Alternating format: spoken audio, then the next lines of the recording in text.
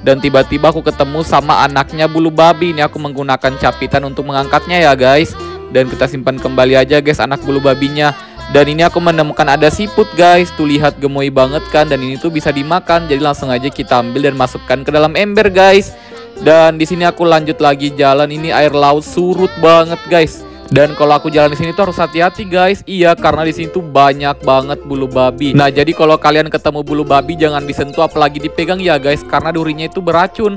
Dan ini aku melihat ada ikan buntal besar. Pas aku mau tangkap ikan buntalnya langsung kabur guys, tuh lihat. Dan eh ternyata aku menemukan ada ikan buntal guys, tapi ini tuh ikan buntal yang berduri. Tuh dia langsung membesar gitu guys, gemoy banget. Nah, kalau kalian ketemu sama ikan buntal seperti ini jangan dipegang ya guys, karena ini berbahaya guys. Tuh lihat duri-durinya. Jadi aku langsung aja simpan kembali. Tuh lihat gemoy banget kan guys. Meskipun gemoy dia memiliki duri yang sangat berbahaya. Eh tiba-tiba dia membesar lagi guys. Tuh kayak bola.